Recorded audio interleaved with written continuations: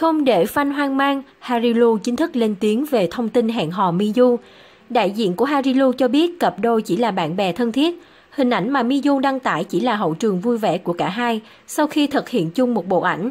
Sau chuyện tình ồn ào với Phan Thành, Miyu ít khi chia sẻ chuyện tình cảm đời tư trên mạng xã hội. Nữ diễn viên từng nhiều lần vướng tin đồn yêu bản thân của tình cũ. Tuy nhiên cô nàng không hề lên tiếng thừa nhận hay phản bác.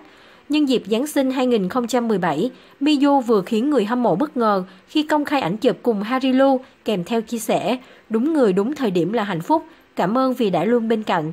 Hành động của Miyu khiến nhiều người tin rằng nữ diễn viên ngầm công khai tình cảm với Harilu sau thời gian dài dính nghi án tình cảm. Đầu tiên, nữ diễn viên còn ướp mở danh tính, nhưng ngay sau đó cô nàng đã tác hẳn chàng trai đó vào phần bình luận. Người đàn ông đúng người đúng thời điểm của Miyu không ai khác chính là Harilu.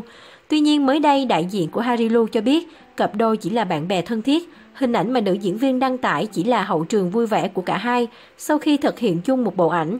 Hình ảnh thân thiết của hai người không nói về tình yêu mà chỉ đề cập đến nam diễn viên như một người bạn xuất hiện vào lúc cô cần, cùng chia sẻ niềm vui nỗi buồn trong cuộc sống.